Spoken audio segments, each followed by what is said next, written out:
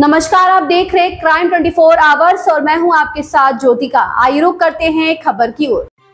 जिलाधिकारी बांदा व पुलिस अधीक्षक बांदा द्वारा शहर क्षेत्र में पैदल गश्त कर तेज ध्वनि साउंड पॉल्यूशन के खिलाफ चलाया गया विशेष अभियान। उत्तर प्रदेश के जनपद बांदा से खबर है, जहाँ पर मंडलायुक्त चित्रकूट धाम मंडल, बालकृष्ण त्रिपाठी व पुलिस उप महानिरीक्षक चित्रकूट धाम परिक्षेत्र बांदा, अजय कुमार सिंह जिलाधिकारी बांदा, नागेंद्र प्रताप पुलिस अधीक्षक बांदा अंकुर अग्रवाल द्वारा शहर क्षेत्र में पैदल गश्त कर तेज ध्वनि साउंड पोल्यूशन के खिलाफ चलाया गया विशेष अभियान।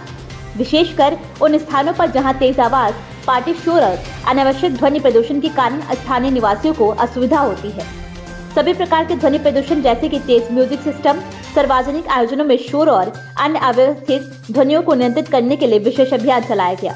जिससे जनपद में शांति और सुखमय वातावरण बना रहे तथा नियमों का उल्लंघन करने वालों पर कड़ी से कड़ी कार्रवाई हो सके। क्राइम 24 फोर आवर्स से संवाददाता उपेंद्र कुमार की रिपोर्ट।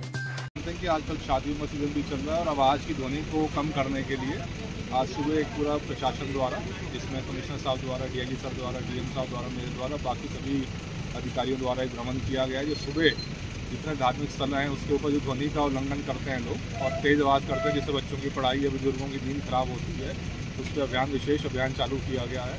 सभी को निर्देशित किया गया, सभी अधिकारियों को नीचे की वो लगातार भ्रमणशील होकर और ये रात को भी हम अभियान चलाएँगे दस से बारह। तो लगातार चलेगा क्योंकि शादियों में सीज़न में कोई भी उल्लंघन डीजे का हो, चाहे स्पीकर का हो, उस तो ध्वनि को कम कराया जाएगा और जो लोग इसको नहीं, इसका पालन करेंगे, उनके डीजे सीज भी कराए जाएँगे और सख्त से सख्त कार्रवाई की जाएगी।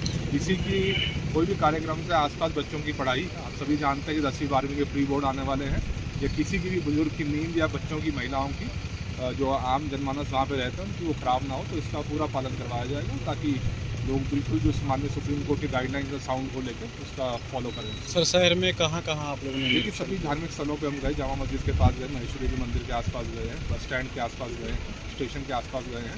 और भी जितने रात के, जैसे मैंने बताया, जो जितने मैरिज वेन्यू हैं उस पर विशेष अभियान चलवाया जाएगा। उसको भी चेक किया जाएगा जो दस बजे के बाद डीजे बजते हैं और शोर शोर से लोग, आसपास के लोग परेशान होते हैं, उनके ऊपर भी आज रात को। और ये लगातार चलता रहेगा हमारा, जब तक ये सीज़न शादियों का है और जब तक इसका उल्लंघन लोग इसको काबू में नहीं लाते। इस खबर में बस इतना ही। बने रहिए क्राइम 24 आवर्स के साथ।